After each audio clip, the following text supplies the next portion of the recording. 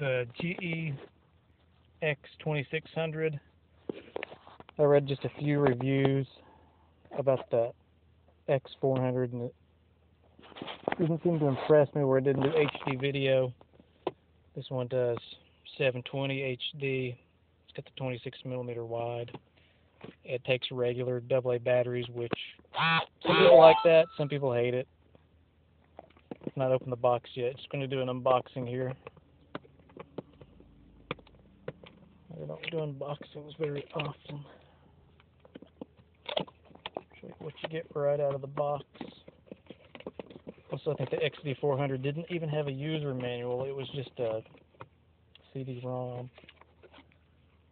So there's the manual, some papers. Okay, you get the the strap, some batteries. Probably gonna invest in some nice rechargeable ones.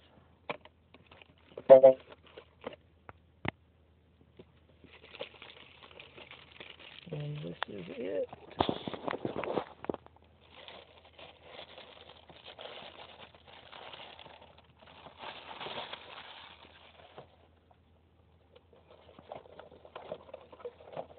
Ah, ah.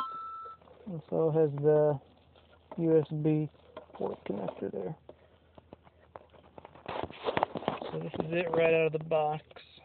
It's a like a navy blue color.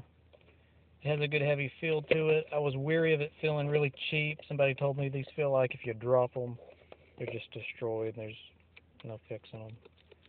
16.1 megapixels.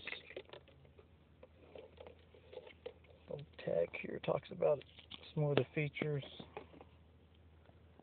got face detection, pan capture, face recognition. I don't know how that's different than face detection.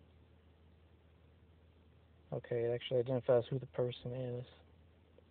The LCD screen here, pretty good size. It's about all you need for something like this, 3 inches.